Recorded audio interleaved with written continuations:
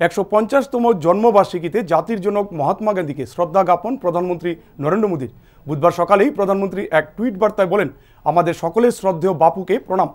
মানবতার প্রতি তার অবদানে আমরা কৃতজ্ঞ। এদিন সকালে রাজঘাটে যান মোদী। সেখানে গান্ধীজিকে শ্রদ্ধা জ্ঞাপন করেন। পরে সেখান থেকে বিজয়ঘাটে যান তিনি।